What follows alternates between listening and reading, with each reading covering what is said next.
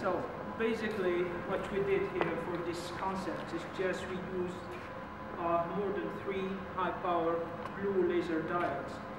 And we combined these laser diodes to some light guiding and that transport the light from the source to the phosphor. Actually pump a phosphor that converts the, the blue light into yellow light.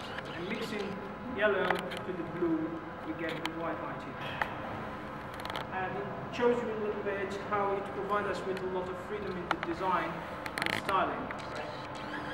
And to better illustrate this principle, we built a demonstrator here that you